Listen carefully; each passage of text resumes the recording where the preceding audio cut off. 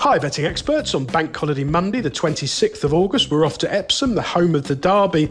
On Bank Holiday Monday, sure to be a huge summer family crowd. The weather forecast, unusually for a bank holiday, looks set fair. We did have a lot of rain in the area on Saturday, which eased conditions, but I think it's probably dried out Sunday, Monday, so pretty much perfect, hopefully. We start off with our betting expert daily nap. This goes in the 317.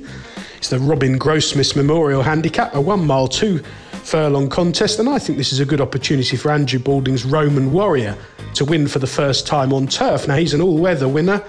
He's won really well in defeat on turf on several occasions. Seven times he's run on the turf in total. Last time out at Goodwood, there was plenty of market confidence behind him, but things didn't pan out ideally. From off the pace, he got squeezed out at a crucial stage. I thought he ran really well to finish fourth in what was probably a slightly better race than this. Murphy is in the saddle this afternoon. I think he's got optimum conditions. He won't mind a little bit of cut in the ground if there still is some. And the yard, by the way, Andrew Balding.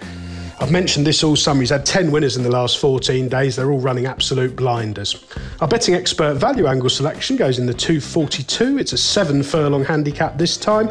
A good opportunity here, I think, for Jim Boyle to strike at his local track with Son of Man. Now, Son of Man is a relatively lightly raced handicapper one start back, he ran an absolute screamer when finishing second at Goodwood. And watching that run back, I know unlucky loses a tenner penny at Goodwood, but he did shape like one who was well ahead of his mark. You're getting a decent price this afternoon because he didn't perform at all in the Britannia at Royal Ascot, but that on firm ground, probably completely excusable.